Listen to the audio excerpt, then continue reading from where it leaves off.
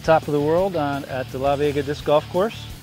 And uh, this is probably one of the holes that you have the most options of any hole here. So it's probably at least 100, 150 feet of elevation down aside from being 500 feet far. So in order to get there, your disc is going to be in the air a long time. You're going to need to control it quite a bit, which typically most pros are going to be using a mid-range here.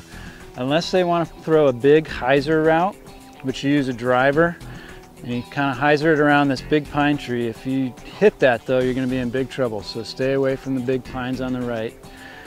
And big hyzer route's gonna leave you down in the field anywhere from, you know, a, a 50 footer to a 100 footer.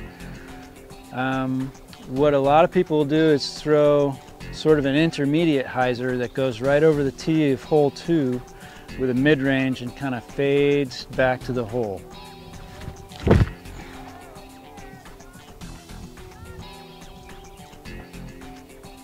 Sit down, sit down on the ground. Ah, it did skip OB. Oh well, so I'm going to be putting for a par from just out of bounds. The nice news is I actually get a chance to save a par with a long putt.